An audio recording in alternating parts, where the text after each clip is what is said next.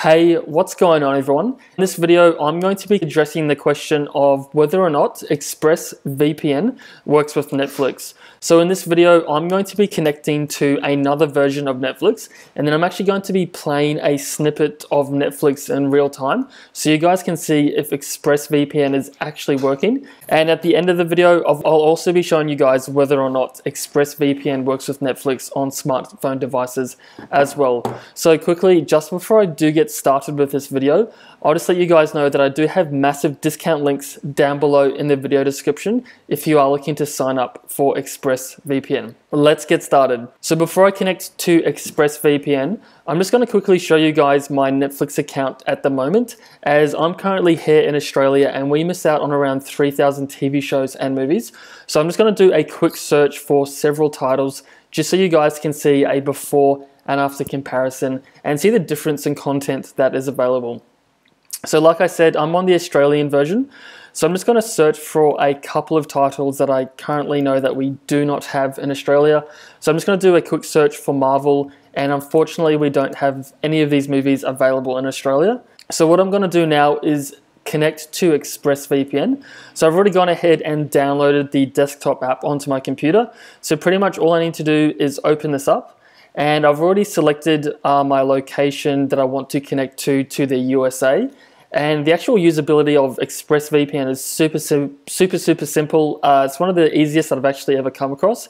All you have to do is just go ahead and click the big button and it's pretty much as easy as that. It's almost impossible to mess up. And once it is connected, you see that this goes green.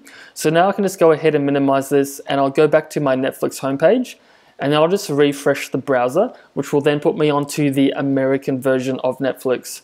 So um, I'll search for the same titles as I was before. So again, I'll search for Marvel.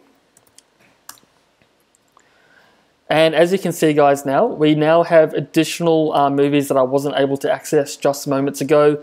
So I've got Avengers, Thor, Ant-Man, and a few Star Wars films as well. So I'm just going to click into one of these just so you guys can see uh, whether or not it actually plays and if there's any error messages that show up and also the performance of the stream as well. So I'll let this play out in real time. So as you can see guys, ExpressVPN is 100% working for accessing the different versions of Netflix from around the world. So again, if you're looking to get started with ExpressVPN and stream all the different catalogs of uh, Netflix from around the world, don't forget to check out the discount link down below in the video description as that will definitely save you some money up front. So like I said at the beginning of the video, I'll also show you the mobile version um, and just to see whether or not that works uh, with ExpressVPN as well. So I'm just going to make myself bigger here and I'm not sure if you can see that but I've already selected the server to the USA and the mobile version of the app is essentially exactly the same as the desktop. I just have to go ahead and press the button and it follows the same process of just connecting me to the fastest server in America and again, it's gone green, which just lets me know that my entire iPhone device is now connected. So again, I'll go back into Netflix and I'll search for Marvel. And as you can see guys, we now have the same Marvel movies that was accessible on the desktop version when connecting to ExpressVPN. So again, I'll click into one of these movies and I'll play this out in real time so you guys can get a feel for speeds as well.